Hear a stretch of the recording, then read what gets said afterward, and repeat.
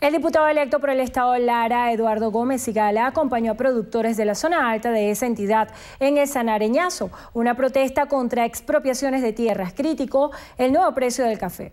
Agricultores a caballo, en tractores, con instrumentos de labranza, rastras y bueyes, manifestaron en Sanare, capital del municipio Andrés Eloy Blanco. El parlamentario electo y también productor agropecuario Eduardo Gómez Sigala aseguró que el nuevo precio del café lavado es insuficiente Cree que el ajuste debió ser de 1.600 bolívares. Estarán en las ciudades, estarán en las carreteras. Yo creo que el país ya se cansó de que sigan castigando a todos los sectores productivos, expropiando fincas, afectando industria, interviniendo constructoras.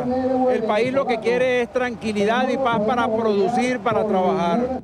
Gómez y Gala dijo que los dos tractorazos y el sanareñazo demuestran que los trabajadores de la zona rural de Lara están decididos a defender sus derechos en la calle.